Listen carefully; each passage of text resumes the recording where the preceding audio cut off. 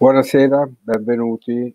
Eccoci al, un appuntamento di quello che è stato definito il post-festival, il dopo festival delle migrazioni che anche quest'anno a Modena, nelle modalità concesse dal tempo complicato che stiamo vivendo, ha riunito l'attenzione di protagonisti e di operatori eh, sulla frontiera delle, delle migrazioni. Quest'anno in maniera particolare dedicandosi ai giovani migranti coloro che arrivano nel nostro paese, coloro che nel nostro paese sono già in qualche modo radicati per storia familiare, coloro che dal nostro paese se ne vanno altrove. Il tema di questa sera, eh, che vedrà di nuovo riuniti nella forma digitale che ci è consentita, protagonisti e, e interpreti della realtà viva della nostra società, di, di, di, di questa realtà che ci riguarda tutti e che non è solo un problema, è anche una grande occasione, il tema di questa sera, dicevo, è fondazioni, accoglienza eh, e accoglienza migranti. E il sottotitolo riporta tre parole chiave che dovrebbero essere i grandi pilastri dell'attenzione che poniamo su questo tema, che sono in controtendenza con gli slogan che a volte si preferisce usare. Integrazione, lavoro, inclusione. Eh, tre parole sode, tre parole vere che riguardano la vita, la vita della gente. Con chi ne parleremo? Ne parleremo con eh, i presidenti di importanti fondazioni di origine bancaria e questa sarà la seconda parte del nostro incontro. Ne parleremo eh, con Edo Patriarca, che del Festival delle Migrazioni è stato il portavoce. Edo Patriarca credo che non abbia bisogno di, di presentazioni, ci conosciamo da, da, lungo tempo, ma lo conosco tanti di voi per la, per la, sua storia di parlamentare della Repubblica, di membro del Consiglio nazionale dell'economia del lavoro, di portavoce del terzo settore, di, di presidente eh, del comitato centrale della GESCI, di, di, consigliere, di membro di una delle fondazioni bancarie del territorio, mi pare era proprio della sua Carpi, per molti anni, e potrei continuare con l'Istituto della Donazione, tanti impegni, tante tanta dedizione, siamo incrociati molte volte, io nel mio lavoro di cronista e lui nella sua militanza eh, civile pubblica. E, ehm, con noi ci saranno, e questa è la prima parte, molto importante, partiamo dal, dai dati di realtà, eh, quattro relatori che rappresentano realtà impegnate concretamente sulla frontiera dell'integrazione, del lavoro e dell'inclusione e vorrei partire proprio con loro. I primi quattro sono Elena Tanzi, coordinatrice del progetto Welcome e, ed è anche un'operatrice nell'area eh, accoglienza e cura del volontariato di Porta Aperta, una realtà modenese, la vediamo, la vedete già inquadrata. Buonasera. Tanzi. Poi c'è Maria Cristina Alfieri, che è la direttrice dell'associazione Next, eh, beh, è una collega giornalista, eh, ci conosciamo che con lei da tempo. Buonasera a tutti. Grazie. Anche a Cristina Fieri. E, mh, oggi lavoro in una realtà molto importante, ci siamo occupati anche un po' di tutte queste, ci siamo occupati sulle pagine di Avvenire, perché guarda caso guardiamo la realtà italiana e chi ben fa dentro la nostra realtà alla fine finisce per specchiarsi anche sulle pagine del giornale che ho l'onore e l'onere di dirigere in questa fase della mia vita professionale. Accanto a Elena Tanzi e Maria Cristina Alfieri abbiamo poi Francesca Silva che è direttrice del CHAI. Ecco anche Francesca Silva che, che, appare. Un'altra, un'altra realtà che non conosciamo per nulla, che anche lei è impegnata concretamente eh, quei ragazzi migranti arrivati in Italia, eh, storie che abbiamo avuto modo di raccontare anche sulle pagine di avvenire. Eh, ecco, vedete, continuiamo in inanellare, arriviamo all'ultimo, all'ultimo volto che è ancora una donna, Simona eh, Musarra, che è la referente dell'ufficio di orientamento di job placement. Dove Buonasera. Ah, vabbè, un, quattro donne intorno al, al, video che ci sono venute che ci aiuteranno a entrare nella realtà che produce realizza e non solo promette integrazione, lavoro e inclusione. Allora, troppo spesso, amici e amiche mie, quando parliamo di questi argomenti eh, ci ritroviamo a sentire luoghi comuni eh, o a vedere solo le problematiche e le difficoltà che ci sono, indubbiamente, che è una terra da rare, quella nuova della nostra concittadinanza e del lavoro condiviso. Però anche questo tempo la pandemia si sta facendo vedere quanto sia necessario eh, una forza lavoro, una forza di intelligenze capaci di coordinarsi, di mettersi insieme, di costruire non solo la solidarietà delle anime belle, come dice qualcuno, ma la solidarietà fattiva che cambia da giorno per giorno in realtà. Allora partiamo a raccontarli questi progetti. Io direi mh, andiamo, seguiamo l'ordine che abbiamo proposto, no? quindi partiamo con Elena Tanzi, coordinatrice del progetto Welcome. So che c'è un video importante, importante che ci presenterà sull'adottarsi a vicenda, però non voglio rubare la parola a lei. Ascoltiamo. Grazie, grazie mille. Allora, eh, sì, vi parlerò stasera di Welcome, che è un progetto di accoglienza a minori stranieri non accompagnati e richiedenti asilo sul territorio modenese, eh, promosso da Fondazione Modena, dal Comune di Modena e dalle organizzazioni del terzo settore locale. Welcome è un progetto che consente ai giovani in una diciamo, fase delicata della loro vita, quindi l'adolescenza, ma anche tutto quello che comporta il processo migratorio, di recuperare una mh, dimensione di affettività e familiarità all'interno di una famiglia eh, italiana che favorisca l'apprendimento della, della, lingua, della lingua italiana, del completamento degli studi, ma anche un, un'acquisizione di competenze professionali. Quindi, nonostante il periodo veramente molto delicato e il progetto che è stato uh, finanziato dalla Fondazione ha visto veramente un interesse crescente tra le famiglie, le reti, le associazioni che veramente hanno fatto di tutto per dare continuità alle azioni previste e che sono state accompagnate e sostenute dal coordinatore del progetto. La scelta, diciamo, di identificare un coordinatore è stata una scelta strategicamente riuscita anche per affrontare una pandemia, dal momento che veramente cambiavano continuamente le esigenze, che si modificavano e, e tutto questo è stato diciamo, ottenuto con risultati positivi e documentati. E quindi anche il comune di Modena proprio ha dimostrato di credere molto in, in questo progetto e, e ha confermato la sua volontà anche di continuare, di potenziare e sviluppare quello che è stato il suo impegno passato, ma anche quello presente e futuro, eh, promuovendo il progetto e cercando diciamo, delle soluzioni alternative, perché eh, ci sia sempre una maggiore comunicazione e collaborazione con, eh, le, tra le comunità e, e l'ente locale. Andando proprio nello specifico per spiegarvi un pochino meglio eh, in che cosa consiste il progetto Welcome 3.0, soprattutto quello che ha caratterizzato quest'anno, insomma, è, diciamo, il progetto ha visto un susseguirsi di quattro azioni principali.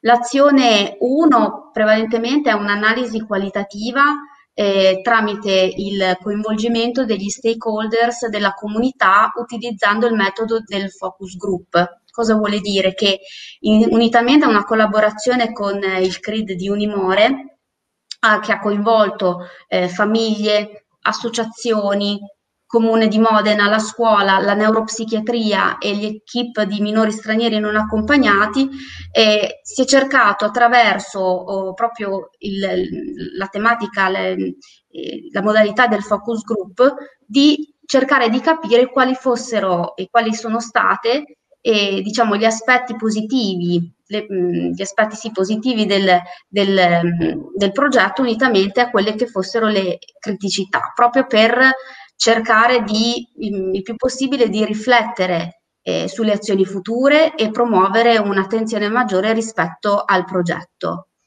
Ehm, l'azione 2 invece ehm, vede e garantisce la continuità eh, di comunicazione tra l'equipe MSNA e le comunità che si occupano di minori eh, stranieri non accompagnati, eh, in quanto ha permesso di inserire tre ragazzi eh, mm, all'interno di un progetto diciamo in famiglia e quindi questi sono progetti che sono continuati, alcuni sono terminati, hanno avuto tutti un esito positivo. L'azione 3 invece ha visto eh, il coinvolgimento anche di risorse quali gli alloggi, cioè nel senso ehm, l'azione 3 è, è, riuscita a garantire e a trovare degli alloggi ehm, per alcuni ragazzi che uscivano dal percorso in famiglia e quindi a muovere i primi passi verso una maggiore autonomia, sempre ovviamente tutelati dall'equipe MSNA, dal coordinatore, dalle famiglie che ruotano intorno. Quindi dal primo di luglio del 2020 ehm, sono stati i sono stati tre i ragazzi che hanno usufruito eh, dell'appartamento, un appartamento eh, ovviamente mh, insomma, che ha visto i ragazzi attivi, un ragazzo è già uscito eh, perché aveva trovato una uh, soluzione alternativa in maniera autonoma, quindi eh, il progetto copre nel momento stesso in cui c'è bisogno di questa impalcatura, diciamo, per muoversi verso il mondo esterno in maniera totalmente autonoma.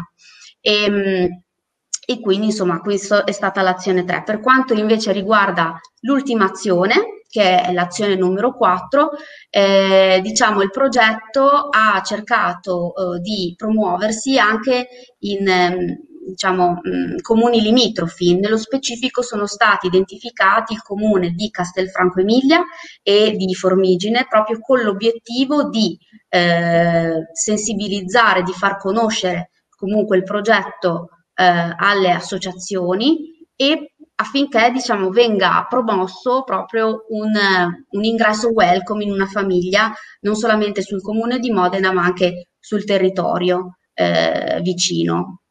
Bene, ecco, bene. queste sono state le quattro azioni fondamentali. Ci ha portato un video anche Renatanzi, credo, o no?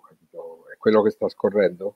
Sì, quello che sta scorrendo sono immagini appunto di alcuni ragazzi che sono stati eh, protagonisti del progetto e insomma ci faceva piacere comunicarvelo unitamente a delle immagini. Bene, grazie allora. Eh, grazie a voi. Allora, ricordiamo che, eh, eh, come è stato detto, il rapporto stretto col Comune di Modena e la Fondazione Modena che ha sostenuto... Sì, ha sostenuto, promuove, e diciamo è proprio eh, fondamentale il lavoro di, eh, della fondazione che promuove e continua a sensibilizzare questo progetto in cui eh, le famiglie e tutti noi crediamo veramente molto. Bene, grazie. Allora, grazie a voi. Grazie a Elena Tanzi. Maria Cristina Alfieri. Eh, eh, Maria Cristina Alfieri, come dicevo, è una giornalista ma mani in pasta da sempre con, con le realtà sociali dell'impegno. Ma non voglio rubare la parola, insieme alla Fondazione Cari Parma raccontiamo un po' cosa Next, cosa è capace di fare, cosa è Next anche qui, come abbiamo spiegato adesso l'esperienza con, con Elena Tazzi. Prego. Certo, grazie, grazie Marco, grazie al Festival delle Migrazioni per con- averci coinvolto in questa, eh, in questa iniziativa e darci la possibilità di raccontare appunto che cosa è Next. Next è un progetto che nasce come eh, risposta di un'impresa, in questo caso l'operatore logistico number one, eh, eh, una risposta a un bisogno che è quello di trovare persone da far lavorare nei suoi magazzini, persone eh, che spesso non, non, riusciva a trovare e dall'osservazione che invece sul territorio c'erano molte persone in difficoltà, soprattutto migranti e rifugiati, che cercavano lavoro e non, e non lo trovavano. Quindi l'impresa ha deciso di dare una risposta, una risposta responsabile a un problema sociale e non a caso questo progetto, tra l'altro, si inserisce all'interno di un percorso che già eh, Number One stava facendo per diventare Benefit Corporation. E quindi di, decide di aggregare dei partner, eh, come partner finanziario appunto Fondazione Cari Parma, ma anche enti del terzo settore, quindi le Caritas e il CHAC, eh, per mettere a punto dei percorsi che consentano a queste persone in difficoltà di fare eh, una formazione sia teorica che pratica per poi essere assunte nei suoi magazzini. In oltre tre anni eh, questo progetto ha portato a più di 100 assunzioni e le persone che sono state assunte hanno dimostrato di avere poi delle performance e anche un attaccamento all'impresa superiore alla media, quindi sono state davvero anche un valore per l'impresa che l'ha introdotte. Ci tengo a sottolineare che questo non è un semplice corso di formazione, ma quasi una sorta di adozione, possiamo dire, di queste persone, perché il progetto prevede che eh, durante il corso siano seguite da un tutor, questa è una mh, funzione per noi importantissima, un tutor che eh, monitora un po' tutte le loro esigenze, li aiuta a superare le difficoltà che possono incontrare, è stato organizzato un sistema di trasporto per portarli sul posto di lavoro, eh, per alcuni è stata trovata una soluzione abitativa.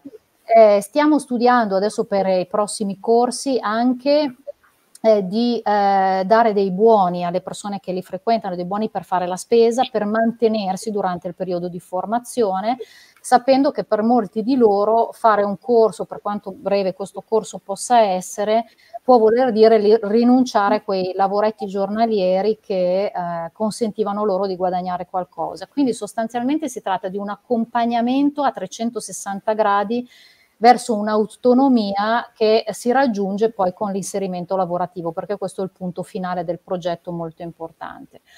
Eh, da qui, da questo, da questo uh, progetto appunto implementato a Parma da Number One, è nata l'idea poi di creare un'associazione, di far crescere il progetto sia geograficamente, quindi portandolo da Parma in altre città, sia allargandolo ad altre imprese che possano condividere con Number One lo stesso spirito di, e, e, e avere la stessa tensione verso una responsabilità di impresa importante. Abbiamo avuto subito un riscontro molto positivo a quest'idea, l'associazione è nata da poco ma ha subito suscitato la, la curiosità di un partner importante come Procter Gamble e quindi grazie al suo sostegno siamo riusciti a lanciare, tra l'altro abbiamo annunciato proprio ieri, il progetto Aula 162 che anche questo progetto eh, nasce da, dall'osservazione di che cosa sta succedendo adesso in Italia. Abbiamo visto, eh, lo, lo, si accennava in apertura, che la pandemia ha bruciato tantissimi posti di lavoro, si parla di oltre 300.000 posti di lavoro, il tasso di disoccupazione è dell'8,9%, aumentano i NIT, i ragazzi che non hanno un lavoro e non sono impegnati in programmi di istruzione. Abbiamo un monito da parte dell'Unione Europea, l'Agenda 2030 delle Nazioni Unite, l'obiettivo 8 dice che bisogna sostenere una crescita economica che sia inclusiva e sostenibile. E poi abbiamo il monito anche di, di Papa Francesco che nell'enciclica Fratelli Tutti, proprio al, al paragrafo 120, 162, dice eh, che non esiste peggiore povertà di quella che priva della dignità del lavoro. Quindi noi abbiamo dato il nome Aula 162 a, a, a, questo progetto e sarà il nome di tutti i luoghi fisici in tutta Italia in cui organizzeremo corsi di formazione per persone in difficoltà e quindi eh, abbiamo anche allargato il target, giovani che hanno abbandonato mm. la scuola, donne vittime di violenza, disoccupati Covid, eccetera, arrivando fino al loro inserimento lavorativo. Eh, Cristina, oltre... Cristina Alfieri credo che ci abbia portato anche un video con delle voci di queste persone. Sì, assolutamente. Voci vogliamo, di... vogliamo vederlo adesso oppure poi così lo commentiamo chiudendo? Valenti, volentieri, volentieri, lo possiamo vedere sì. perché dà l'idea davvero di come cambi la vita alle persone che riescono a trovare una collocazione lavorativa. Poi c'è questo uomo, lui è un esercito e poi lui fa di solito viene a prendere i ragazzi stranieri e poi gli pagano e poi dicono di andare, di andare cioè, a, a, fare guerra contro i loro nemici.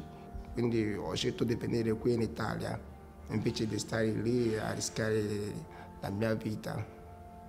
Ho avuto un piccolino problema perché la mia religione è cristiana, di un paese islamico di Pakistan. Mi dicono che vai, vai un'altra parte perché loro ti massano.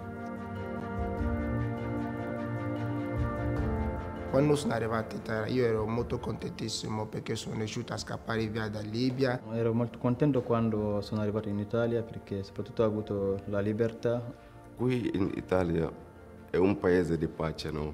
mi piace la cultura, mi piace la gente, no? Chi, chi hanno bisogno di aiutare.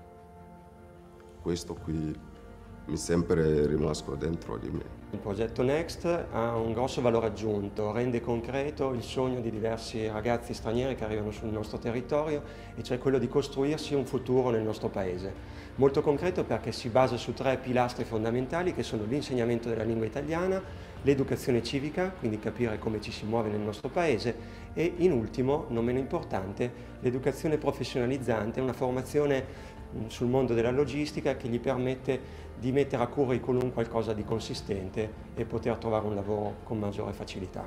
Questo progetto ha una forza, un valore aggiunto nel quale noi crediamo davvero tanto, che è quello di dare veramente una possibilità di integrazione a questi ragazzi che arrivano nel nostro paese, facendoli guardare più serenamente al loro futuro. Il progetto NES è stato molto importante perché quando sono arrivato e mi hanno aiutato la Daniela per trovare prima tutto fare la scuola, e dopo la scuola abbiamo fatto la formazione di lavoro e poi mi hanno chiamato a lavorare. È stata una, una strada che mi ha portato al mio sogno. Ha preso la mia vita dal livello 0 fino al livello 10. Questo corso mi ha dato il sogno della mia vita. Beh, insomma, voci, voci emozionanti. Noi avevamo scoperta questa storia e l'abbiamo raccontata perché è riuscita eh, l'azione che è partita da Number One e poi si è trasformata nell'associazione Next con un'iniziativa, come è stato ricordato, che è in collaborazione con la Caritas di Fidenza e, e di Parma, giusto? Certo, Caritas di Fidenza e, e, e anche Ciaco Onlus. La cosa certo bella è che è proprio la forza di questo progetto, è il network, quindi Fondazione Cariparma, gli enti del terzo del settore, eccetera, hanno, hanno fatto proprio un network, un sistema virtuoso che vorremmo replicare in altre città d'Italia, con appunto allargandolo ad altri soggetti, però la forza sta nei partner. Adesso sono entrati due nuovi partner che sono Croce Rossa Italiana e Manpower, che ci aiuteranno a selezionare le persone, a a, a, reclutare le persone per fare questi corsi sia in entrata e a ricollocarli in uscita per quanto riguarda Manpower e quindi ovviamente più saranno i soggetti Poi, che riusciremo a ricordo bene, una delle caratteristiche era quella anche di, di coprire de, delle possibilità di lavoro che venivano disertate. Esatto, sì, come dicevo, parte, parte che, che è uno dei dati impressionanti della realtà italiana di questo tempo. No? Infatti l'idea è quella proprio di colmare il mismatching tra imprese che cercano eh, persone per fare determinati tipi di lavoro che magari molti non vogliono più svolgere e persone in difficoltà che cercano lavoro e non lo trovano. Quindi c'è una sorta di disallineamento tra due, eh, questi due elementi e noi cerchiamo insomma di fare da ponte attraverso questo network virtuoso. Bene. Grazie a Cristina Alfieri. Grazie. Continuiamo il nostro viaggio dentro la realtà di quelli che fanno e che vivono eh, la realtà dell'integrazione del lavoro e dell'inclusione, preparano un tempo nuovo così. Con, eh, stavolta lasciamo per un momento le fondazioni de, della terra d'Emilia e ci spostiamo un po', un po', più a nord con un progetto che nel, nel profondo sud chiamo adesso eh, a raggiungermi in video eh, Francesca Silva, direttrice del CHAI, e ci porterà a, a Palermo con eh, ragazzi a raga. Francesca Silva, ascoltiamo, siamo tutti orecchi. Eh. Allora, sì, grazie. Carico e...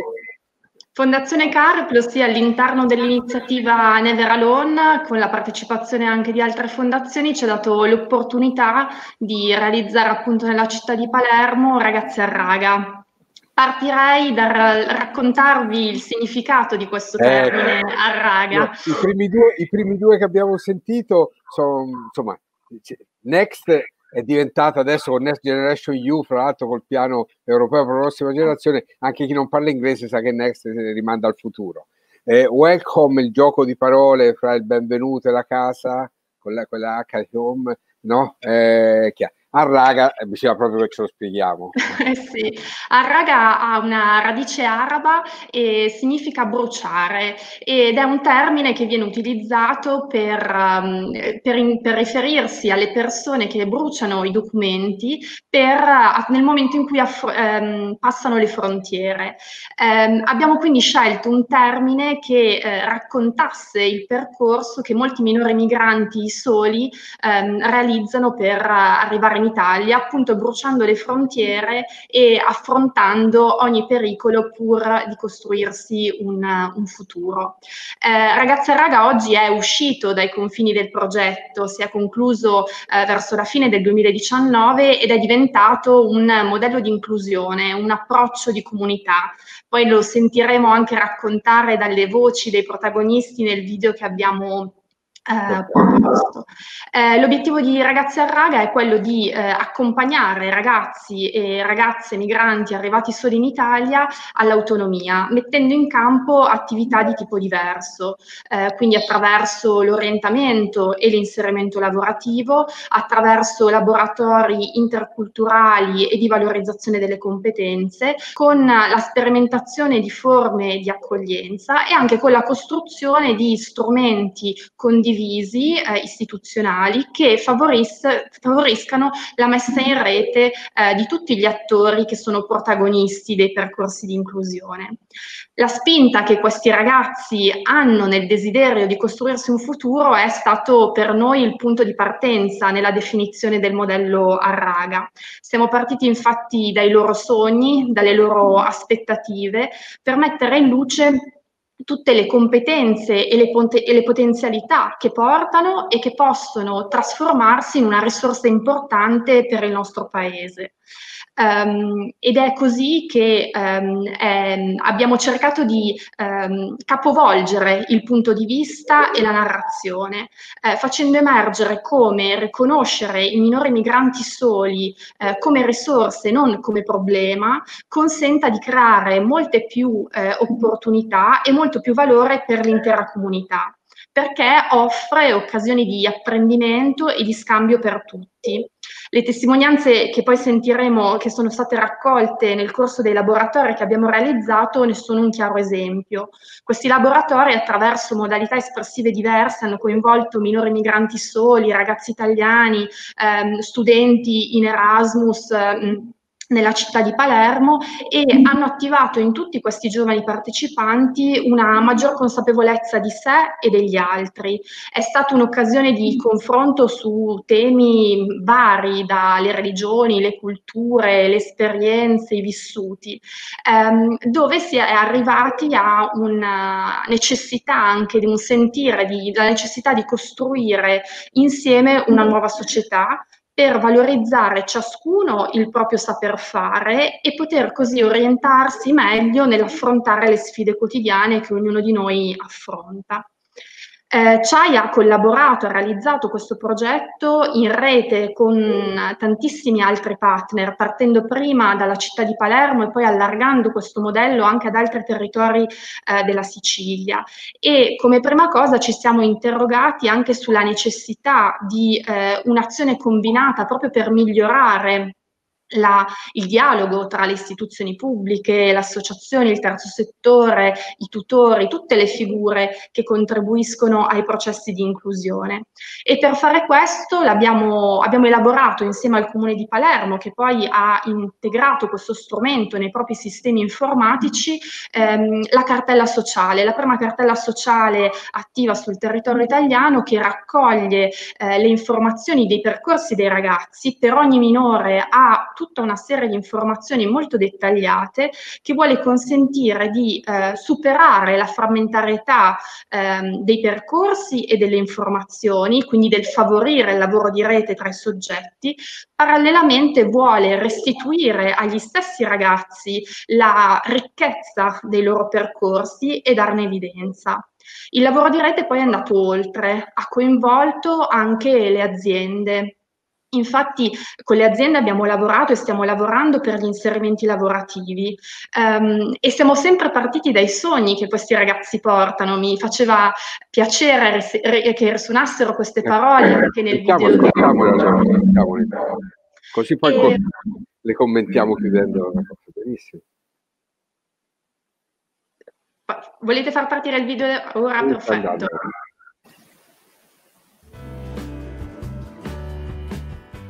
a raga vuol dire la solidarietà, aiutare le persone. Conoscenza, amicizia, rispetto, umanità, tutto. Il colore non si conta qui. Appena arrivi qui siamo tutti uguali. Dal momento che ho iniziato questa attività con i ragazzi a raga mi sento diciamo bene. Ho imparato a diventare una persona vicina agli altri, a capire le necessità. Mi ha dato tantissimo amore. Mi hanno dato anche l'opportunità di esprimersi, di dire le cose che sento. Bellissimo di ascoltare gli altri. La voglia di scoprire nuove cose che aumenta sempre di più. Ti aiuta a crescere molto. Bella vita nel tuo futuro. A raga mi ha permesso di capire cosa voglio essere nella vita. Significa integrazione. Io penso che queste persone me le porterò dentro sempre perché da ognuno di loro ho preso uno sguardo, un sorriso. Sono troppo felice, felice. Ho imparato il senso dell'amicizia. Significa stare insieme.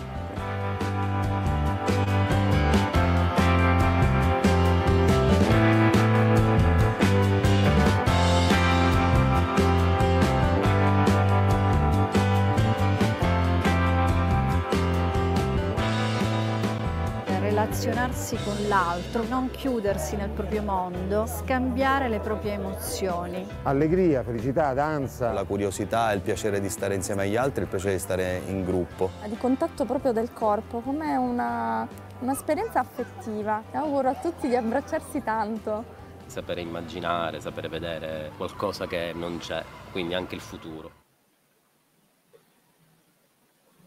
Quindi un lavoro che parte dalla base della ricostruzione delle relazioni per approdare anche a una formazione che aiuti a camminare poi nella vita. Esatto, in particolare all'inserimento lavorativo noi nel corso dei primi due anni di progetto abbiamo attivato circa 80 tirocini formativi e una ventina di questi si sono trasformati poi effettivamente in contratti di lavoro, quindi in occasioni concrete di poter costruire il proprio percorso verso l'autonomia. In, in, in una realtà non facile come quella Esattamente. E devo sottolineare questo aspetto. Noi abbiamo trovato ehm, una collaborazione veramente molto forte, sentita con le aziende che si sono ingaggiate con noi in questo percorso, non solo nella, nel fatto di aver messo a disposizione queste opportunità per i ragazzi, quindi averli accompagnati a una formazione, al lavoro e anche ad esperienze concrete, ma si sono eh, affiancate a noi anche nel costruire dei percorsi che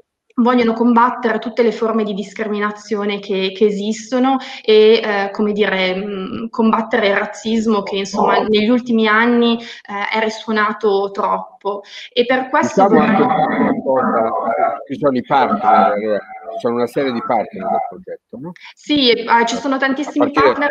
Da, dal a partire dal principale che è Fondazione Cariplo, eh, che ehm, non solo ci ha dato la possibilità di realizzare queste attività, questi progetti, ma è stato un partner fondamentale perché ha condiviso l'approccio e gli obiettivi che noi abbiamo ehm, definito all'interno di questo modello di inclusione e ci ha anche accompagnato nel valutare l'impatto di queste azioni e nel poter farne emergere il valore, un valore che, eh, come dire, ovviamente risiede nei percorsi di vita di ciascun ragazzo, ma che è bene mettere in comune anche con altre realtà come la nostra, come stiamo facendo oggi, che fanno percorsi simili, eh, proprio anche per combattere un po', come si diceva prima, quei pregiudizi che continuano a esserci e che talvolta impediscono invece dei percorsi di inclusione vera e propria. E poi abbiamo ehm, altri partner come il comune di Palermo con cui abbiamo collaborato e continuiamo a collaborare, SEND che è un'agenzia per il lavoro, CESIE che si è occupato della realizzazione dei laboratori, CIPIA, ehm, Notte d'Oro che è un'associazione anch'essa che ha contribuito alla realizzazione dei laboratori, Libera Palermo, ehm, Cooperativa Liberamente, eh, l'associazione Santa Chiara, insomma i soggetti sono tanti, eh, forse non riesco neanche a citarli tutti, e anche perché questo processo continua, continua eh, al di là appunto dei confini del progetto, ma noi stiamo proseguendo con tanti interventi che si stanno anche ampliando in altri territori eh, della Sicilia e il nostro obiettivo principale, diciamo che eh, Fondazione Carplo è entrata a far parte della comunità Raga, come ci piace eh, definirla, che è una comunità che non ha paura di cogliere le sfide che abbiamo davanti, che sono purtroppo sempre nuove, sempre più complesse, ehm, ma come dice una delle voci del video, eh, è una comunità che è capace di saper immaginare, eh, di saper vedere qualcosa che non c'è e quindi di saper immaginare il futuro. E questo credo che sia la forza di questa rete. Bene, grazie, grazie, grazie Silva. Adesso arriviamo a Simona Musarra, risaliamo a Bologna, risaliamo la penisola, Simona Musarra, che Eccomi. ci racconta que- questa scuola che, che, grazie all'iniziativa della Fondazione Carisbo, eh? che sì. cosa la, la, famigerata alternanza scuola-lavoro famosa, che è una gran, è una gran cosa quando è fatta bene, si può fare bene, vero? Si può fare bene, adesso ve lo dimostriamo.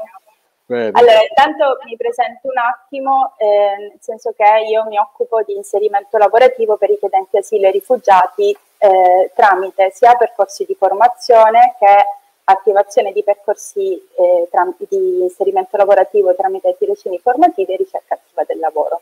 Come area lavoro della cooperativa sociale Accadinoe e insieme ad Aspe Città di Bologna abbiamo collaborato quindi alla progettazione di questo eh, progetto chiamato School for Job L'obiettivo del progetto è stato innanzitutto quello di favorire uno scambio peer-to-peer di competenze utili alla ricerca attiva del lavoro fra i richiedenti e titolari di protezione internazionale ospiti presso i centri di accoglienza del progetto SPRAR di Bologna, che adesso si chiama SAI, e i progetti CAS. E la collaborazione di quindi il coinvolgimento degli studenti e delle studentesse del liceo Minghetti di Bologna e Archimede di San Giovanni di Pezziceto. La prima attività del progetto è stata innanzitutto una sensibilizzazione nelle scuole sul tema immigrazione, perché secondo noi era fondamentale. Dopodiché abbiamo fatto delle sessioni intensive di formazione rivolte sia agli studenti che ai beneficiari dei progetti, con un focus sulla stesura del curriculum e la ricerca attiva del lavoro. Questi momenti sono stati poi integrati da dei giochi rompighiaccio e dei focus group gestiti da un'associazione di Bologna chiamata ICIS, di counselor che ha permesso quindi la socializzazione tra studenti e beneficiari dei progetti di accoglienza. Durante questa prima parte di formazione e socializzazione, sono, dopo questa prima parte, scusate, sono stati poi attivati degli sportelli settimanali dove gli studenti e i beneficiari sono stati affiancati da insegnanti della scuola di italiano, operatori dell'area lavoro e due ragazze tirocinanti dell'Università di Bologna della Facoltà di Scienze della Formazione. Durante poi questi sportelli sono stati anche sperimentati sia delle tecniche di simulazione di colloqui per aiutare i ragazzi a eh, spiegarsi meglio appunto e anche eh, nell'invio di candidature di lavoro online. Chiudo il, il mio intervento dandovi qualche numero, nel senso che per noi è stato fondamentale la partecipazione attiva sia degli studenti che sono stati 50, 36 beneficiari dei progetti sia SPRAR che CAS del territorio bolognese. Hanno partecipato 109, hanno, sono state registrate 109 presenze negli sportelli, attivati 11 tirocini formativi, 4 contratti di lavoro e sono stati iscritti due ragazzi a due corsi di formazione con qualifica professionale. Quello che mi piacerebbe poi invece è lasciarvi al video che vi fa un po' vedere le testimonianze sia dei ragazzi che degli studenti. Bene, vediamo questo video. Il progetto nasce nel contesto dell'accoglienza dei ragazzi richiedenti asilo, dei ragazzi e delle ragazze richiedenti asilo e rifugiati del sistema SPRAR della città metropolitana di Bologna e dalle cooperative che gestiscono eh, le strutture di accoglienza in cui sono ospiti i ragazzi e le ragazze eh, ci sembrava eh, molto utile eh, unire il bisogno degli studenti di conoscere il mondo del lavoro a quello dei ragazzi richiedenti asilo eh, che è uguale, cioè conoscere eh, il mondo del lavoro qua in Italia. Senz'altro curiosa perché sapevo che avrei conosciuto delle persone nuove, ero un po' intimorita magari all'inizio, ma più che altro perché mh, era una cosa proprio nuova non, eh, persone che venivano da altri paesi che ancora non parlavano neanche bene l'italiano, cioè potevo aver avuto dei compagni alle medie, però non era la stessa cosa. Come si confrontare tante persone, anche come si um, rispondere a, a colloquio, però allora adesso ho imparato tante cose qua. Adesso non ho paura di, di fare ho, oppure di parlare eh, davanti a tante persone. Perché eh, eh non, ho, non ho fatto le computer nella mia vita, ho imparato anche questa cosa per cercare come si cerca il lavoro su internet e questa cosa lì, con, con insieme ai ragazzi. Riguardo al mondo del lavoro ho imparato come scrivere un curriculum e anche come comportarsi ad un colloquio. Oh, tante cose, ad esempio per come devo fare il curriculum, anche come devo fare colloquio, sì, tante cose, non lo sapevo prima. Allora, eh, sicuramente c'è stato un aiuto reciproco. Chi, chi non è chi ha le difficoltà per, il, per la lingua, come noi. Quello che si è riuscito a creare era un ambiente in cui riuscivamo a comunicare e a condividere eh, una visione del, dell'Italia e del mondo senza che uno dovesse aiutare l'altro a entrare in questo, in questo mondo. Il gioco che mi è piaciuto di questo progetto è il divertimento è stata una bella esperienza, è stata un'esperienza che ha arricchito, mi ha arricchito ancora di più di quella dell'anno scorso, cioè ha continuato ad arricchirmi e sì, assolutamente la rifarei e la consiglierei anche. Eh, mi sento molto bene, questa esperienza e mi è piaciuto molto. Sì. Uh, mi sento bene perché mi ha aiutato un po' più ad aprirmi con le persone e mi ha aiutato anche a capire nuove cose su me stessa e sugli altri e sì, la rifarei estremamente arricchita da, sia da un punto di vista culturale sia da un punto di vista eh, della consapevolezza in generale e quindi soddisfazione assolutamente. Bene, quindi una, una cinquantina di... ho capito che da, da, da quello che è stato detto sono persone che tornano anche eh, in un progetto sì, che è relativamente giovane, è partito nel 2018 mi pare, no? Sì, perché abbiamo fatto due edizioni, una prima edizione nel 2018, una seconda, eh, scusate, una prima edizione nel 2017 e un'altra nel 2018 invece con la Fondazione Carisco.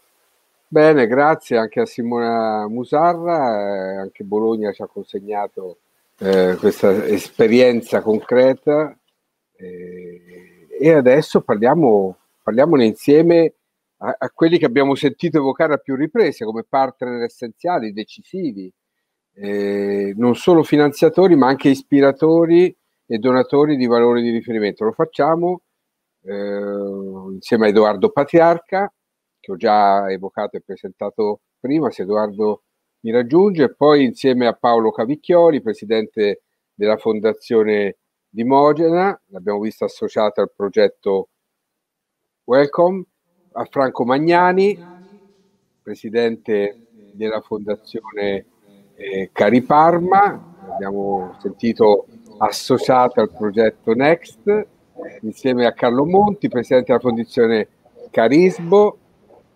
progetto School Job, l'ho presentato bene, giusto? Sì. E infine con Giovanni Fosti, presidente della Fondazione Cariplo, eh, che qui abbiamo sentito eh, accompagnata alla, alla, al progetto Ragazzi a Raga, che non è gioventù bruciata in questo caso, ma tutt'altro. Insomma. Bene. Edo Patriarca dove è finito intanto? Sono qua, sono qua Marco, ci sono. Eccolo Edo. Edo, facciamo una voce, una vo- eccolo lì, lo vedo, lo vedo. Piacere sentirti. È un piacere ritrovarci. E anche eh? vedere è molto bello. Di questi tempi ci vediamo solo così, caro esatto, Esatto, proprio così. Eh, con te facciamo un'introduzioncina, facendo da collegamento fra la parte che abbiamo ascoltato visto, eh, che, è la, che, è il risultato de, de, della capacità delle fondazioni anche da ascoltare i territori, anche in questa esigenza che è parte della vita dei territori e non è eh, qualcosa che viene da Marte, che non, che non riguarda no? il fenomeno delle migrazioni che poi vanno a toccare e a, e a incidere nella realtà del nostro paese. Sappiamo eh, quali siano uh, i problemi e le opportunità. Cinque anni di festival, delle sì, migrazioni. Sì, Marco, cinque anni di festival. Eh, eh, intanto un saluto davvero oltre, oltre, a te, saluto anche il presidente Paolo Cavicchioli e poi tutti i presidenti delle fondazioni, ovviamente per questo evento che eh, a noi sta molto a cuore, cioè che a noi eh, c'è passo bello importante, soprattutto perché in qualche modo si collega mh, mm, quasi direi organicamente al, al, progetto del festival e a quello che abbiamo cercato di dire in questa edizione. Eh, mi preme soltanto, visto che ci stanno ascoltando in, tanto, in tanti, eh, ricordare un po' come dire, chi sono i soggetti che hanno preso a cuore questo, l'evento del festival, no? chi è che in qualche modo lo anima, io sono solo un portavoce, come giustamente si dice, no? E, è bello ricordarlo perché insomma, dice anche il senso, no? la struttura anche culturale di progetto che ha il festival nel suo cuore, nella sua testa. E uno ovviamente, eh, un, uno dei protagonisti, come sapete, come sanno tanti, è la Fondazione Migrantes, che è un ufficio, una fondazione della Conferenza Episcopale Italiana che in qualche modo ci aiuta proprio a stare nella concretezza della vita, nella concretezza dei volti eh, che, eh, che, coinvolgono le migrazioni. Altri, l'altro soggetto ovviamente è, non poteva essere altrimenti, sono Porta Aperta, che è un'associazione di volontariato di terzo settore a Modena, molto impegnato su questo fronte, e il terzo, soggetto, il terzo soggetto che insomma, direi per noi importante, prezioso, non capita così di frequente, è l'Università di Modena. Poi attorno abbiamo i nostri sindaci, abbiamo tutte le realtà associative, abbiamo la diocesi di Modena e la diocesi di Carpi che adesso hanno un, un unico vescovo. Un unico vescovo in persona. Tonerio appunto. Eh, io direi così eh, Marco, proprio per non rubare anche troppo tempo ai presidenti. Eh, noi mh, abbiamo cercato di proporre eh, in maniera un po', un po' così anche col viso aperto, diciamo con un pizzico di sorriso, eh, di proporre questo tema delle migrazioni. Eh, per dire che questo tema della migrazione fosse in qualche modo un segno del tempo, che non fosse soltanto un problema, è anche un problema pieno di difficoltà certamente, ma che questo tema della migrazione in fondo eh, faceva, ci, ci ri, ri, ridiceva nuovamente cosa vuol dire essere degli uomini e delle donne. No? Quindi abbiamo cercato di dire che quando parliamo di migrazioni parliamo degli uomini. Quindi abbiamo cercato di proporre anche un approccio culturale. No? Parliamo di migrazioni. Gli uomini sono nati, lo dico da Boy Scout, sulla strada. Gli uomini sono nati, le donne hanno camminato, sempre, è stato sempre così. E dunque allora dire che questa vocazione al camminare, a stare sulla strada, a pensare e sognare il futuro che coinvolge tanti giovani, è una dimensione che andrebbe accolta come sfida, anche in questo tempo così difficile, così complicato, dove a volte abbiamo la paura, abbiamo la tentazione di rinchiuderci, no? di pensare che bastino i confini. No? Io dico sempre i confini sono belli, sono importanti, no? perché ci dicono dove siamo, chi siamo, eh, ma però sono nati per essere attraversati, per essere attraversati continuamente, non sono delle barriere. E, e questo era un primo tema mh, che ci tenevo Sì, a me piace parlare di ricordare che i confini sono porosi quando, esatto. sono, quando servono la vita, nel senso che esistono poi, ma devono poter consentire di respirare. Esatto, e poi Marco, per, per, far, per non farla troppo lunga, tu interrompimi perché rischio davvero poi no, vabbè. La, eh, di, di, di, mettere in questa edizione ed, ed, è bello vedere nei video, nelle esperienze che le fondazioni stanno sostenendo, perché il taglio è stato quello, i giovani, i nostri giovani, i giovani nostri, intendo dire quelli che risiedono in questo paese, siano italiani, nuovi cittadini o in attesa di cittadinanza. Eh, e lo abbiamo fatto chiamandoli, cioè non, non abbiamo fatto l'ennesimo convegno sui giovani, parlando per i giovani, ma loro, chiedendo a loro di essere presenti con loro lì al festival, no? ovviamente ahimè non in presenza. E anche questo è stato un arricchimento per noi incredibile, cioè noi abbiamo scoperto un mondo di giovani impegnato, a volte anche intransigente, desideroso, insomma, che faceva richieste, ma però con questo stile non lamentoso di chi aveva qualcosa da rivendicare, ma, col, ma nel dire continuamente ma noi siamo qua, ci siamo, vorremmo esserci. E, que- abbiamo parlato dei giovani, sia giovani italiani che ci lasciano, mh, mm, che, e sono tanti, poi alcuni lo fanno liberamente, altri non lo fanno, lo fanno per scelta, obbligati, ahimè, per le condizioni in cui versa il paese sul fronte del lavoro.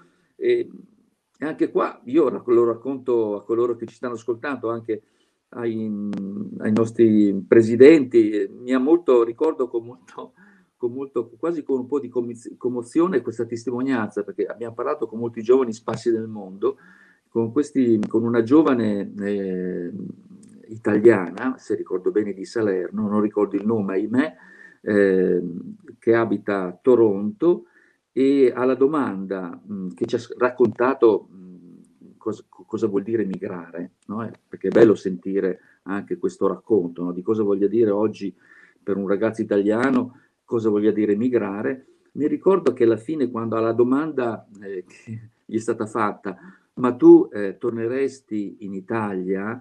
E lei ha usato questa mh, frase che mi è rimasta molto nel cuore, perché ha detto, ma io adesso direi proprio di no perché sto bene, mi sono inserita bene in, nel, in Canada, sto facendo un lavoro che mi interessa, però, eh, questa è stata la cosa che mi ha molto colpito, se da qui posso fare qualcosa per la mia patria, ha usato questo termine, per la mia patria, da qui da Toronto, volentieri sono a disposizione.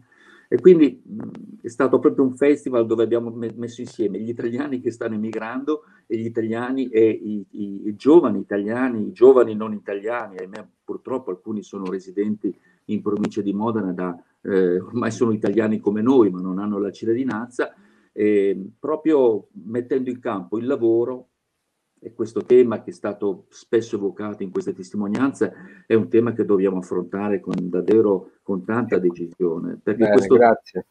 Sì, perché questo tema coinvolge, ahimè, molti di questi ragazzi migranti. Ecco, mm, i riders spesso sono molti, molti giovani stranieri che senza diritti e senza tutele. Un po' questo è stato un po' il cuore del festival, Marco. Grazie. Grazie, grazie Edoardo.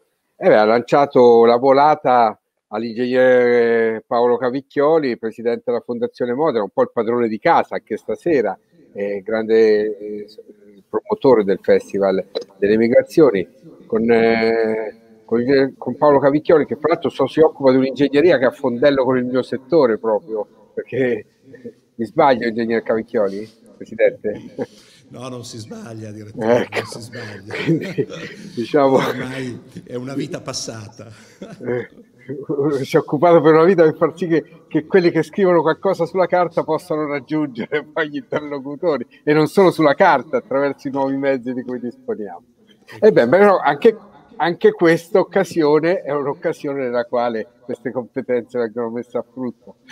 Allora, abbiamo sentito evocare il gran tema del lavoro, quello che accomuna tutti al di là delle attese, abbiamo sentito anche frasi, come dire, che sembrano persino ingenue, no? Le persone che parlano di sé, che vengono da storie complicatissime, magari hanno sofferto l'immaginabile, che parlano eh, di, di, di, di, divertimento anche quando si incontrano con gli altri, che è una dimensione dell'umano, che, che purtroppo abbiamo messo da una parte come se fosse un lusso che non possiamo permetterci. Un lusso che dobbiamo permetterci è il lavoro che dà dignità alle persone. È stato evocato a, a più riprese, prima lo ricordava Cristina Alfieri citando Papa Francesco e la Fratelli Tutti Ecco, io ri, darei l'input qui perché la Fondazione Modena, eh, attraverso il progetto che abbiamo sentito raccontare e questo suo impegno, che poi si declina in tante altre maniere, però eh no, è in primissima fila. Partiamo da questo come provocazione, mettere a disposizione questa l'ingegnere. Presidente Cavicchioli.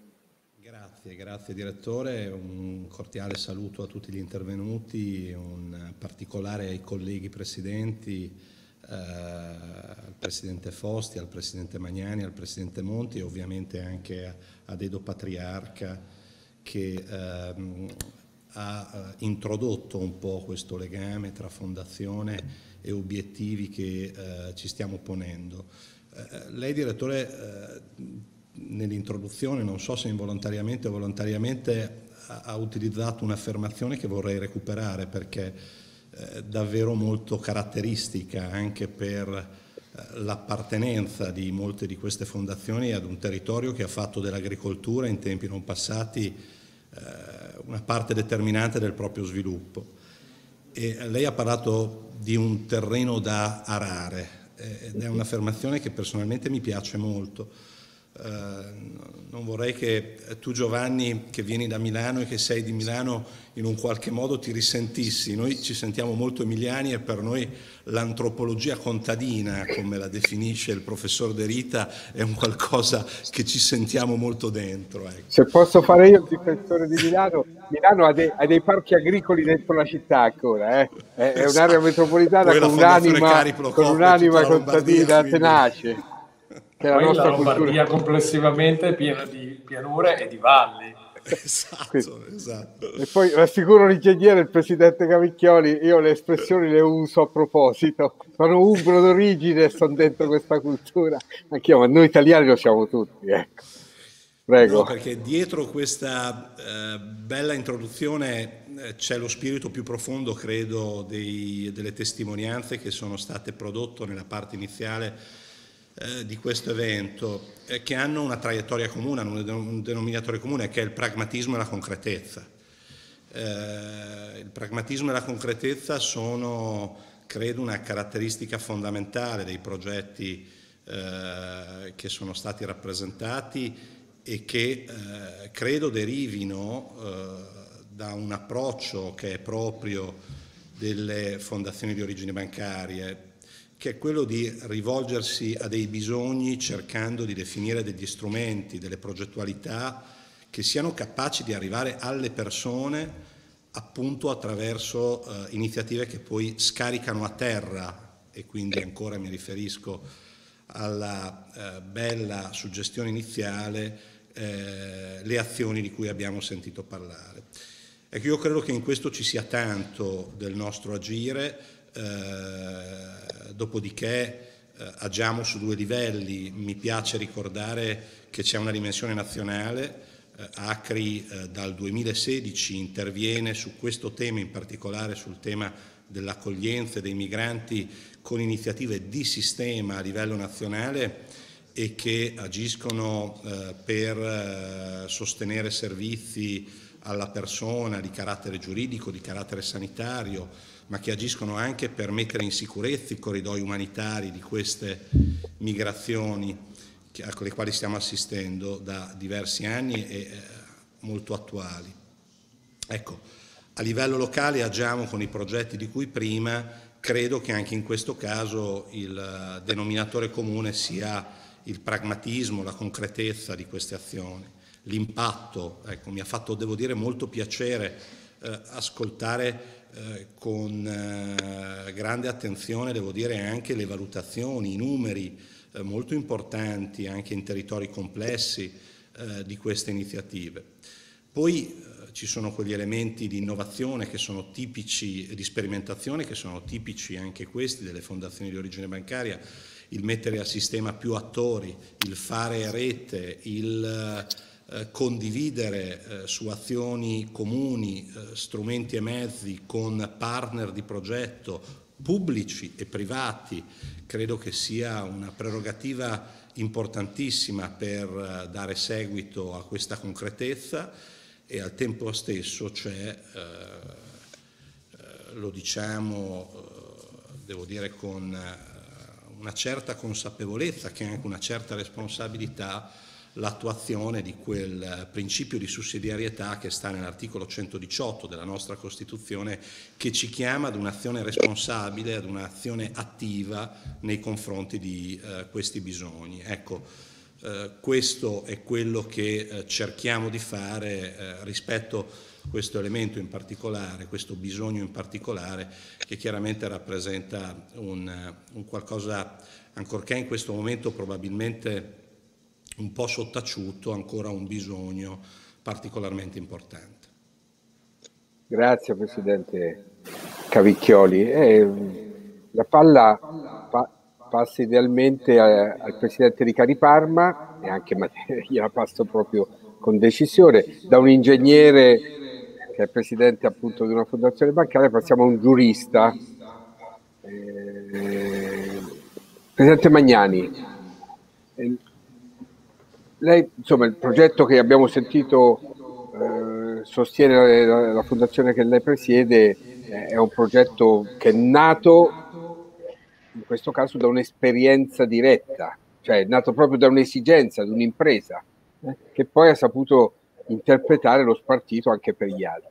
Però credo che questo sia una vocazione che, che anche la sua fondazione sa, sa interpretare, con sinergia che abbiamo sentito molto belle in un territorio vasto. Eh? Partiamo da qui. Noi, eh, io intanto sono qua dalla fine di, di giugno, ma l'esperienza del Next e quindi della Number One eh, già mi era nota perché conosco e stimo Cavicchioli e sapevo cosa stava facendo. E quando ci siamo convocati per questo incontro che è estremamente interessante per quanto attiene a quel che si è potuto sentire, quel che mi ha, su cui mi sono maggiormente soffermato è il fatto di aver sentito parlare di inclusione. Inclusione che è in definitiva un'espressione eh, che è stata estratta dalla geometria, ma l'inclusione sociale è un qualche cosa che ti porta molto lontano, ti porta a pensare a quando in tempi assai remoti eh, gli apostoli, per parlare di qualcosa che è gradito al nostro ottimo Papa, tragicamente colpiti dagli eventi che erano occorsi, si erano riuniti, ponevano tutte le cose insieme e se le dividevano secondo, le dividevano secondo i bisogni. Ecco, l'idea che si possa arrivare prima o poi, il percorso è lungo e faticoso perché le individualità purtroppo tracimano sempre da tutte le parti, a far sì che tutto ciò che appartiene al pianeta assuma una connotazione globale e generale per chiunque, tanto che ci sarebbe sufficienza per tutto e per tutti, è un qualche cosa appunto che ricorda, mi ha, mi ha praticamente fissato nel cuore, nei miei sentimenti, come belle siano tutte queste iniziative, pur avvedendomi di problemi che non mancheranno di riapparire, che non sarà nemmeno facile sopire, perché nel momento in cui noi inglobiamo qualcuno, lo integriamo con noi, dobbiamo continuare sempre ad avere rispetto della civiltà da cui proviene, dall'educazione che egli ha e dargli tutto ciò che di buono noi possiamo avere, cercare di capire se c'è qualcosa di buono anche in loro, perché solo così si arriverebbe a formare un complesso di persone che saprebbero vivere insieme senza che si debbano più vedere quel che si vede sulle televisioni che cerco di non vedere più. Questi sono i sentimenti che la Fondazione Cariparma ha e come ha sentito, gli è stata descritta e ha potuto apprezzare in concreto che cosa fa la Next, di cui non parlo perché ha parlato benissimo il signor Alfieri, anche con quel bel modo garbato che abbiamo gradito, non ha potuto che divenire, assumere la parte meno nobile di questa bella attività, e cioè quella di dare quel aiuto nemmeno piccolo che è stato dato, che verrà confermato e che ci conferma essere a disposizione di iniziative di questa nobiltà. Io altro non saprei cosa dire. Eh, mentre parlava Presidente, mi tornava in mente non l'ultimo, ma il penultimo articolo di Lugino Bruni, sulle pagine del mio giornale, sta dedicando una cosa bellissima alle radici, alle radici de, della finanza e dell'imprenditoria italiana, dentro la cultura, dentro la cultura cristiana anche del nostro paese. Mi tornava in mente eh, la nascita delle compagnie mercantili e imprenditoriali eh, nelle città italiane in cui c'era sempre eh, una parte per Dio, una società che veniva nelle compagnie, c'era sempre una parte per Dio, quando cominciava a dare tutto a tutti. E, e quello che ricordava Luigino Bruni, il professor Bruni, riprendendo in mano eh, gli statuti di queste compagnie e gli atti di cui disponiamo ancora oggi è che i rappresentanti di Dio erano i poveri e una parte dei proventi del lavoro, del commercio, dell'intrapresa venivano sempre destinati ai poveri, non era una parte piccola. Eh, e quel sistema italiano, piace dire a me, sulle pagine da venire continuiamo a cercare di dargli forza e visibilità, per cui le cose giuste non si fanno solo alla fine della vita, la filantropia è una gran bella cosa, ma si fanno nel mentre si fa impresa, mentre si costruisce eh, il successo, la fortuna, la si interpreta è la cosa. Ma, mentre parlava mi ha ricollegato a questo, con le cose bellissime che, che, che, ci ha consegnato. Grazie davvero Presidente. Ha cominciato a giugno, in tempo di pandemia, gli auguro di condurre il suo lavoro verso i giorni in cui torneremo a incontrarci anche in presenza e dal vivo con le persone per le quali agiamo. Grazie. Adesso ascolteremo un presidente che è un medico, il professor Monti, Carlo Monti, presidente della Fondazione Carismo. Eh, abbiamo sentito che bella esperienza, eh, questa eh, bolognese, con che bella sinergia e interazione con diverse, come, come altre che abbiamo eh, visto proporre te, con, con, le, con, le, istituzioni del territorio e grazie alla regia e al sostegno de, una fondazione eh, d'origine bancaria così importante.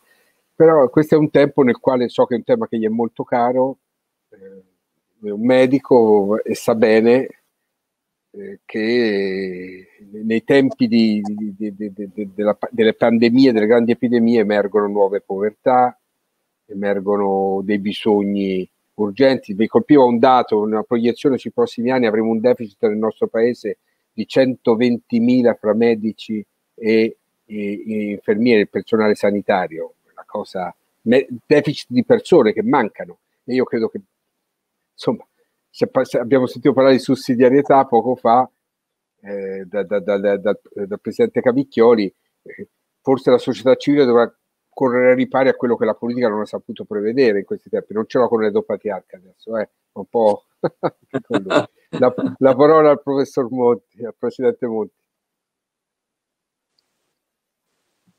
Ah, credo che abbia il microfono tappato, presidente. Non la sentiamo. Mi sentite? Adesso sì, benvenuto anche in Grazie. voce. Grazie, buonasera a tutti. Eh, la ringrazio, effettivamente come medico voglio ria- riallacciarmi alle parole che ha detto il Presidente Cavicchioli, il, quello che ha contraddistinto e con, deve contraddistinguere l'attività delle nostre fondazioni, nelle nostre fondazioni sicuramente è il pragmatismo e la concretezza. Nell'ottica della sussidiarietà che è stata richiamata. Devo dire che le iniziative che le nostre fondazioni hanno intrapreso a favore e per eh, ridurre le sofferenze dei poveri e dei migranti sono sicuramente lodevoli, però noi abbiamo tutti la consapevolezza che in fondo sono delle gocce in un mare molto ampio. Eh, quello che secondo la mia opinione eh, dovrebbe essere fatto a monte, dovrebbe essere fatta una grande azione culturale e politica per convincere quello che è stato affermato, cioè i migranti non sono solo dei lavoratori, ma sono degli esseri umani che devono far parte della nostra società. Noi che siamo dei discendenti del più grande impero che sia mai esistito al mondo, l'impero romano, Dobbiamo ricordare che Roma era l'esempio di una civiltà multietnica. I romani hanno avuto la grande capacità di assorbire e integrare nella loro cultura, nella loro vita, tutti i popoli che allora si erano conosciuti al mondo. E da questo hanno tratto beneficio, linfa vitale, e hanno potuto crescere come noi potremmo crescere nel momento in cui eh, le, la situazione eh, de, demografica non solo dell'Italia che è negativa, ma anche quella dell'Europa, quella delle civiltà più opulente, eh, ci condurrà inevitabilmente a una società di, di, vecchi, di vecchi. Abbiamo bisogno, non solo per motivi di umanità, di, accog- di accogliere i migranti, ma eh, ne abbiamo proprio bisogno anche per mantenere vive la nostra società traendo spunto dalle loro capacità, dalla loro intelligenza, loro, da tutte le loro potenzialità che un essere umano, qualsiasi colore abbia della pelle, può fornire agli altri. Pertanto io credo che una delle nostre azioni fondamentali sia quella di cambiare l'atteggiamento eh, nazionalistico, sovranista che sta, in, sta eh, travolgendo la nostra civiltà non solo in Europa ma anche abbiamo visto eh, in altre parti del mondo. Per cui l'operazione che potremmo fare è quella non solo di fare dei corsi di, di istruzione per preparare i giovani al lavoro, ma anche di eh, prepararli a una cultura diversa, a un modo di interpretare il ruolo che l'essere umano compie sulla Terra in maniera diversa. Non dimentichiamoci quello che è stato richiamato, le migrazioni non sono un fenomeno sporadico, sono un fenomeno strutturale di tutte le civiltà, non solo le civiltà del mondo moderno, ma del mondo antico. Tutti i grandi movimenti migratori, flussi migratori, hanno caratterizzato da 5.000 anni a questa parte il mondo in cui viviamo, il pianeta in cui viviamo. Per cui è veramente gretto, eh, incolto, residuale considerare eh, la situazione dei migranti che sono accolti con difficoltà in Italia. Io credo che la politica debba eh, cambiare passo da questo punto di vista e farsi carico in prima persona. Noi possiamo svolgere il nostro sussidiario accogliendo la disponibilità di tutti i volontari del terzo settore a cui va il nostro più grande ringraziamento, dei, dei, delle cooperative sociali e eh, continuare a sostenere questi progetti, eh, ma non dobbiamo dimenticare l'elemento prioritario a cui ho fatto cenno.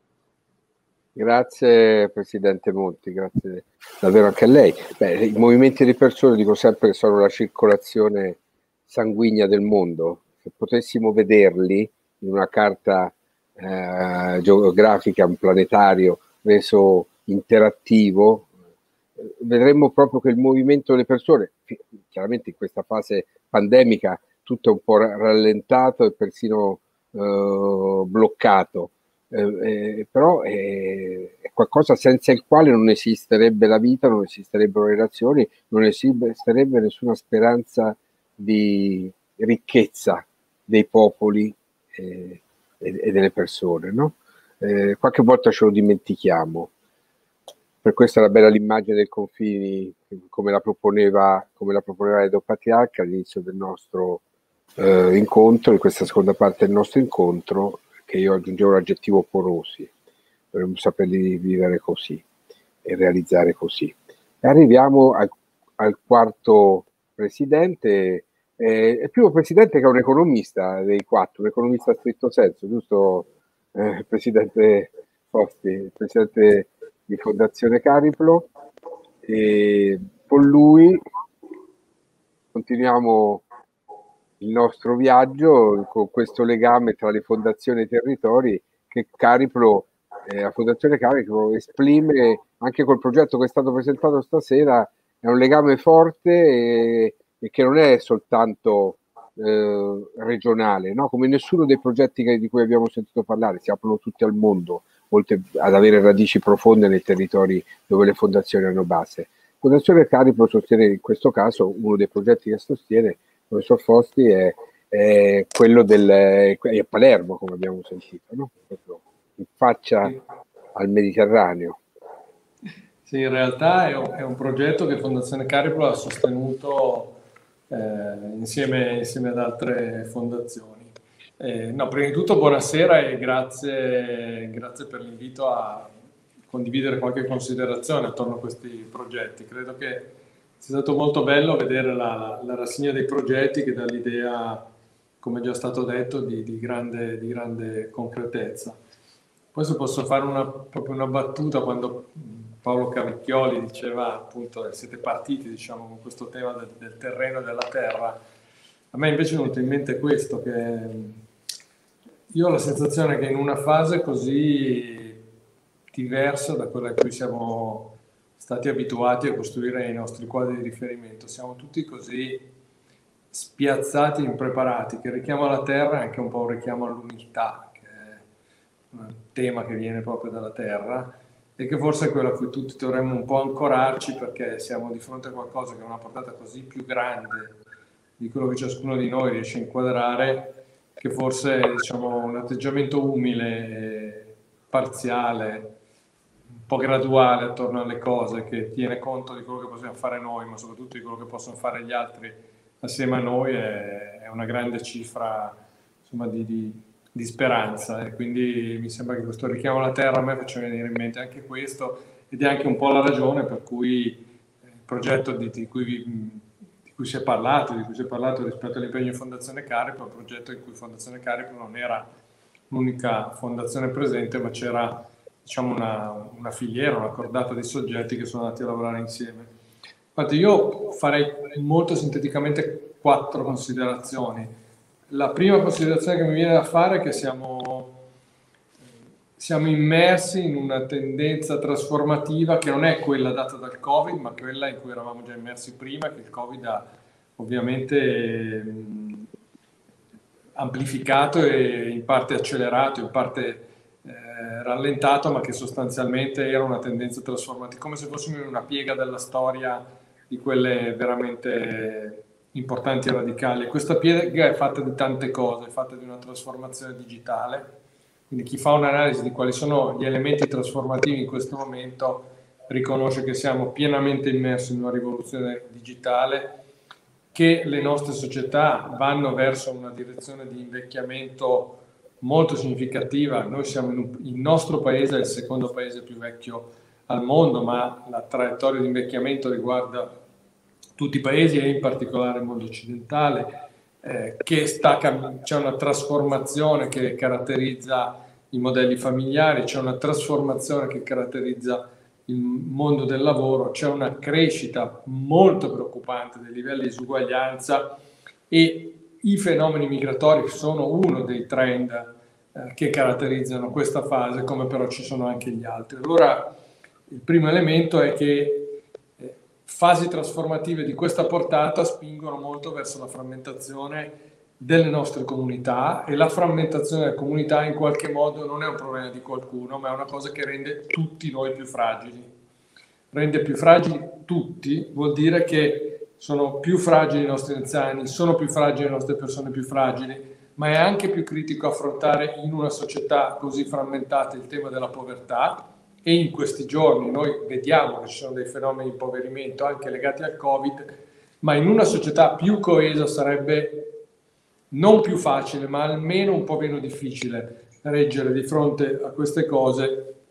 Abbiamo dei problemi significativi sul fronte del lavoro, in una società più coesa sarebbe non più facile, ma almeno un pochino meno difficile confrontarsi con queste situazioni. Quindi a fronte nella situazione in cui siamo, la frammentazione delle nostre comunità è un tema cruciale ed è un tema che ci vede tutti esposti di fronte a una trasformazione che ci avvolge, che ci avvolge tutti. Allora, seconda considerazione, delle comunità più fragili sono un problema per le istituzioni, sono un problema per l'economia e per i mercati e per le imprese, sono un problema per la comunità. Quindi dobbiamo stare attenti a non contrapporre chi è attento alla comunità, chi è attento al sociale, chi è attento alla coesione, con chi è attento al business e con chi è attento alla dimensione istituzionale e politica. Sono tre cose che o crescono bene insieme o arretrano altrettanto rapidamente, forse ancora più rapidamente insieme. Quindi costruire comunità, come dire, non è solo un impegno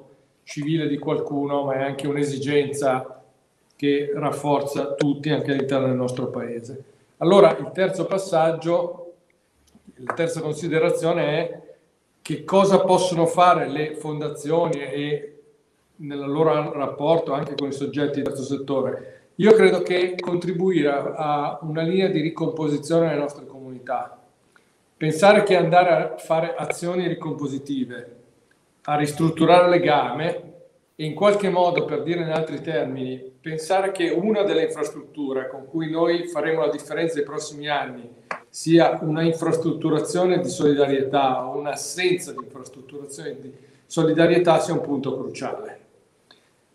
E questo, ed è la quarta considerazione, quindi sto cercando di essere veramente molto sintetico, spero non essere troppo tranchant. La quarta considerazione è che però per promuovere legami, infrastrutturare la, la, la solidarietà, che non è una cosa che fai in un campo e non fai in un altro campo, ma è un modo di guardare alle cose.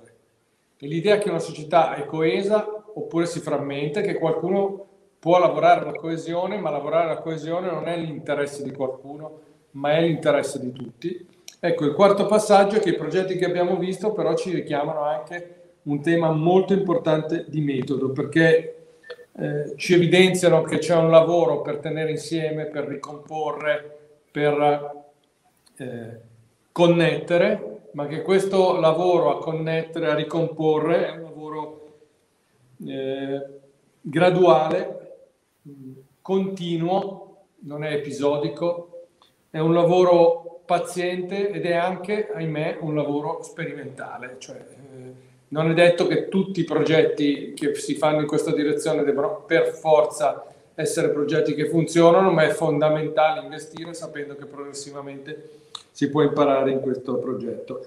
E questo mi sembra costantemente nelle azioni che facciamo come fondazioni un'operazione che non è mai di nicchia su singole aree di intervento, ma che deve in qualche modo essere un metodo, un modo di guardare i problemi, cioè che ci veda sempre come soggetti che pensano di dare in modo concreto, operativo, ma anche con un metodo consapevole, se posso usare un termine un po' desueto, un metodo saggio, eh, un qualcosa che aiuti ad accompagnare una ricomposizione di comunità che sono sottoposte a delle spinte di, alla frammentazione, ognuna delle quali ha un potenziale danno non per qualcuno contro qualcun altro, ma per la comunità nel suo insieme, per le sue istituzioni e anche per le sue opportunità di crescita da un punto di vista economico e quindi di capacità di creare valore per tutti.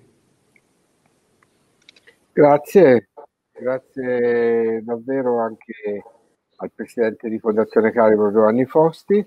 Beh, la rassegna eh, di contributi che ci è arrivata dai presidenti delle fondazioni penso che abbiano aiutato tutti quelli che ci ascoltano a capire perché poi possono germinare e, e proporci con questa eloquenza, quella che eh, abbiamo potuto ascoltare e vedere grazie ai contributi video che sono stati proposti stasera, esperienze così concrete, così fattive dentro la nostra realtà, che sono eh, pietre d'inciampo, punti di contraddizione seria a certe narrative prevalenti, perché i processi di frammentazione di cui parlava di cui parlava con proprietà il presidente Fosti sono processi che si realizzano eh, anche attraverso il discorso pubblico prevalente, gli slogan che vengono veicolati, eh, le affermazioni che vengono letteralmente incistate nella, nella, testa della gente. È uno dei motivi per cui il giornale che, che io dirigo, soprattutto su certe questioni, certi dibattiti, ormai esclude sistematicamente la titolazione con parole tra virgolette. Troppi opinion leader e opinion leader politici utilizzano eh, la par condicio nell'espressione politica per far deragliare il dibattito pubblico in una direzione umanamente insostenibile e politicamente perniciosa. Um, io credo che le fondazioni, eh, abbiamo sentito che già le parole dei quattro presidenti abbiano un grande ruolo nell'Italia di oggi e non mi pento di nessuna delle battaglie che ho fatto in questi anni con, con i miei colleghi a venire e collaboratori insigni per, per, difendere il ruolo delle fondazioni quando veniva messo in questione da iniziative di intellettuali, di politici che sembravano non aver chiaro cosa fosse questo patrimonio, non qualcosa da confiscare, ma qualcosa da preservare perché è una ricchezza a disposizione del paese.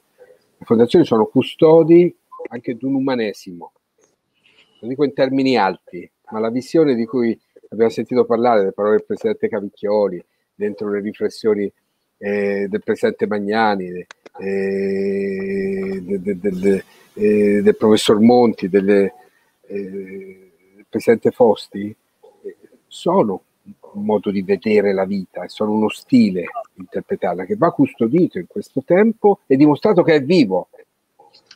E questo forse è il primo atto è più, è più prezioso di contributo sussidiario che bisogna dare a un dibattito pubblico, altrimenti se in mano solo a certe esternazioni povere o aggressive rischia di perdere eh, la, sua sostanza bella. Eh, io so che siamo, credo di essere che siamo stati nei tempi eh, quasi perfettamente. Eh, Ed, Edoardo, sì. chiediamo al, al, portavoce del festival di accompagnarci Guarda. proprio per 30 secondi. Io le quattro, quattro, parole, intanto richiamo quattro parole chiave di ognuno dei presidenti. Il presidente Cavicchioli ci, ci, ha, ci, ha, consegnato una riflessione molto bella, al di là di quella sulla natura che, che ha perfezionato, che ho dato in forma eh, sintetica, ma sulla, sulla, sussidiarietà efficace. Mi piace aggiungere un aggettivo a quello che ha detto perché veniva fuori dalle sue parole. Il presidente Magnani ha, ha, preso la parola integrazione e, sost- e l'ha sostituita in qualche modo con la parola inclusione che anch'io amo molto di più.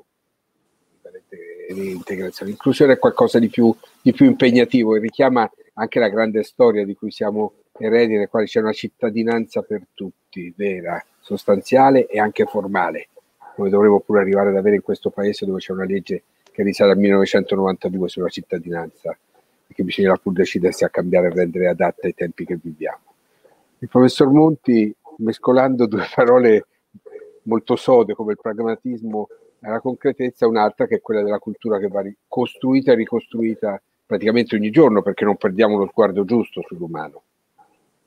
Per sapere stare ad altezza d'uomo e di donna che un medico conosce bene perché è l'unica dimensione nella quale si salvano. Le vite, si costruisce la convivenza vera civile.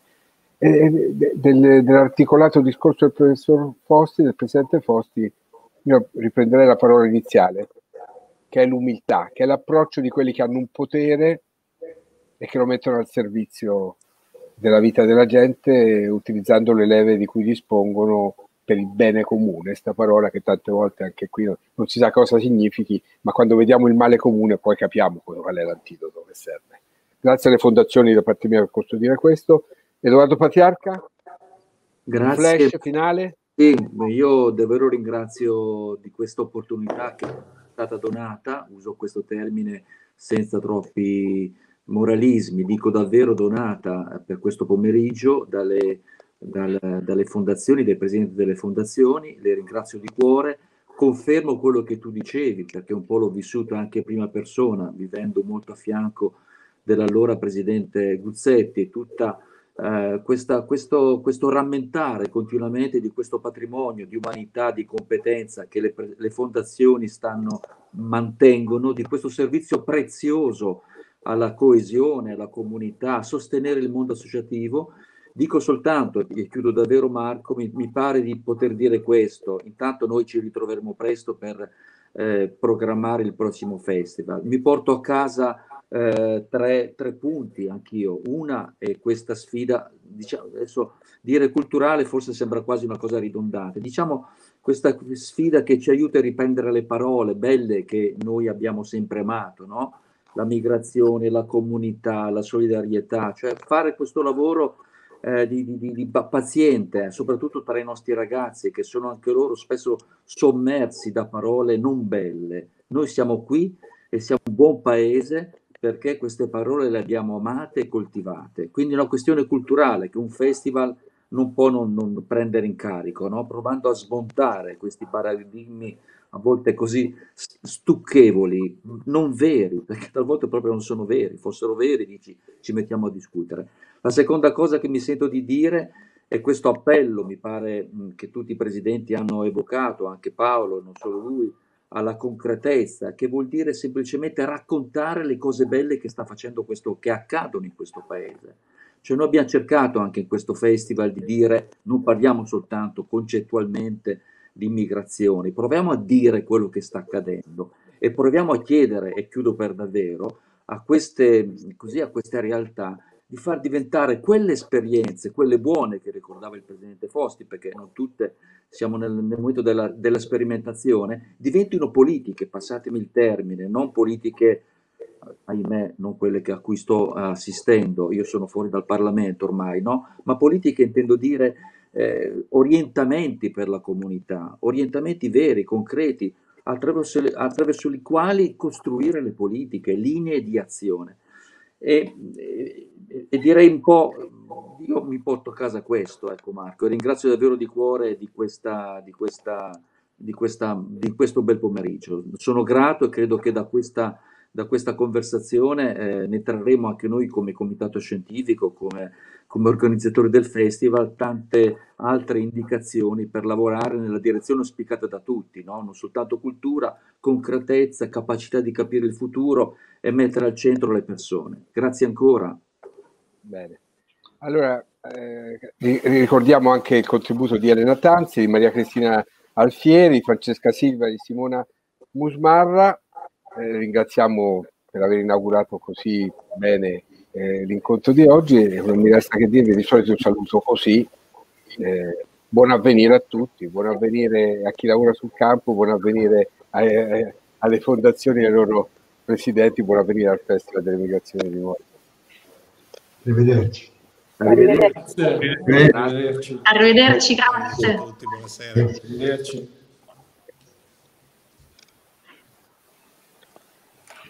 Sono un prete della Chiesa Cattolica Modenese, prete da 25 ecco. anni e in questa parrocchia vivo oramai da 23 anni e in questa parrocchia così faccio le cose che fanno normalmente i preti, cioè faccio comunità con la mia gente. Il mio nome è Jawad, vengo dal Pakistan, ho 18 anni. La definizione di imam cristiano è una definizione di Jawad, un giorno eravamo a tavola insieme e lui mi guarda, si ferma e dice ma tu sei un imam cristiano? E io beh, scappa da ridere ovviamente in quel momento e dico sì è vero sono un imam cristiano. Credo che bisogna andare al di là del rispetto e avere un sentimento di stima profonda, vera, per chi pratica una religione diversa dalla propria. È una persona, tu lo vedi, è una specie di eh, Corano vivente, insomma, e quindi questo porta, almeno dentro di me, molta stima, perché anch'io vorrei essere coerente con il Vangelo allo stesso modo. Lui è Don Paolo è cristiano, eh, però lui è molto bravo, abbiamo stato insieme 6-7 mesi, partito Iran, è stata una eh, casa abbandonata, abbiamo stato 10-15 giorni in quella casa abbandonata, senza cibo e senza acqua eh, morto due ragazzi. Ho chiesto con loro che non voglio andare avanti, mi hanno picchiato, hanno detto che non posso tornare. Dopo partito Turchia abbiamo già preso un gomone, eh, dopo partito eh, Gre Grecia. Credo che un eh, messaggio importante anche della cultura di oggi che fa della connettività, della convergenza, eh, della condivisione, no? quel segnale eh, di questo tipo che c'è sui nostri telefonini, eh, è proprio quello di riuscire a trovare quello che ci unisce. Perché non possiamo condividere una foto su Instagram se poi non condividiamo valori, pensieri, eccetera. Saremmo delle persone a metà.